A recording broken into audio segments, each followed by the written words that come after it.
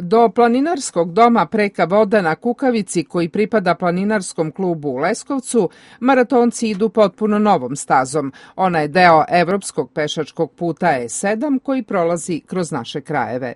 Ove godine ćemo krenuti na pešačenje sa mesta Goč a, i odatle imamo 31 km do planinarskog doma na Kukavici koji je u vlasništvu kolega iz Leskovca. To će biti maratonska staza, a imat ćemo i kraću stazu koja je za one planinare koji žele manje da pešače a, i ona se a, prostire od sela Vlasa isto do planinarskog doma Kukovica gde ćemo se svi okupiti u večernjim časovima i družiti sa svim onima koji krenu sa nama.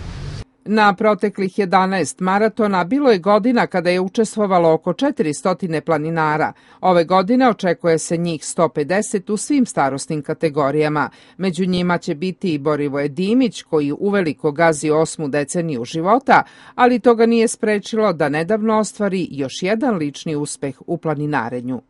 Popili smo se na stazi od 2033 metara na Atosu.